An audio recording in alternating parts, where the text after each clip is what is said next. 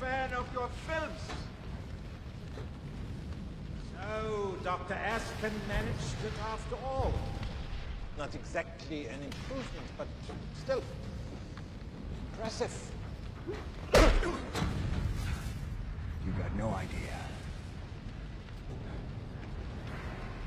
Day.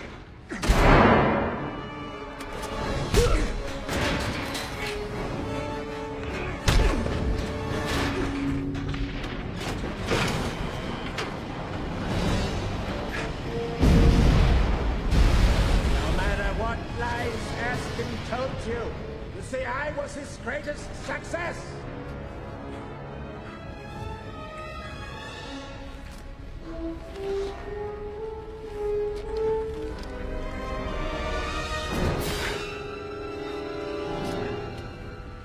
You don't have one of those, do you?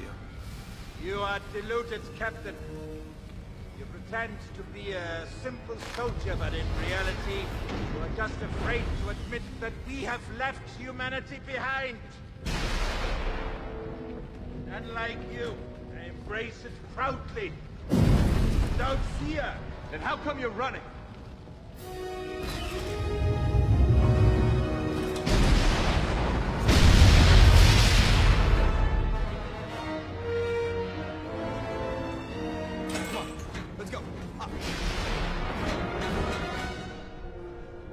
Are we going to the roof?